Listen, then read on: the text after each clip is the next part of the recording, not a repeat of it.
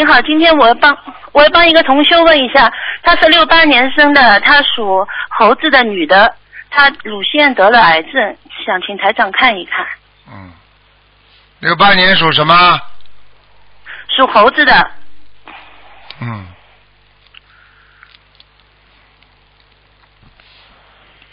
呵呵，太厉害了，太能干了，对的对的，他他很很能太厉害了，有一点的。太厉害了，不是一点点了是的，啊！是的，是的，我也知道，他很凶的。凶的不得了，他他过去把人家甩过，男朋友甩掉好几个了，嗯。哦。没什么好处的。现在生这种妇科病都是那那种业障，听不懂啊？哦，知道了。嗯，我告诉你，叫他好好念礼佛吧。好的，他那个拿掉的小房子要念多少呢？他要拿掉的，他乳房要拿掉的。哦医生医生不会帮他保留住的，没有用的嗯哦，医生是想让他动手术的。啊，一定的。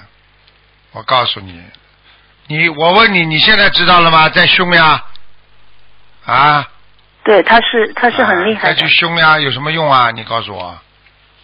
你说嗯一个人凶了，我也你说一个人凶了有什么用啊？凶了最后生癌症，就这么简单。谁凶谁生癌症，癌症也是凶的恶的，他专门找凶的人往他身上跑，所以善良的人就不会生癌症，恶的人就容易生癌症。这个道理还不懂啊？是的，是的，啊，是的，是的。好了，师傅，请问他要放生放多少呢？他已经放了不少了，现在已经放了很多条了。没用的，叫他要念礼佛，彻底念礼佛。礼佛每天念五遍是吧？对，而且要自己要自己要开始许愿吃全素。他已经许愿了。师傅，我想问问看呀，就是医生说化疗的时候让他一个礼拜至少吃一天要荤的，那怎么办啊？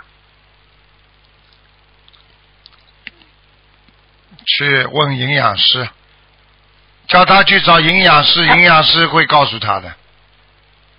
啊，他是如果说他话完全有素的营养可以弥补荤的营养不足的。哦，那有什么东西呢？还是问营养师是吧，师傅？你叫他去问营养师，也是医生，人家会告诉他的，没有问题的。好的叫他不能吃，谢谢吃回去会扩散的。哦，好的。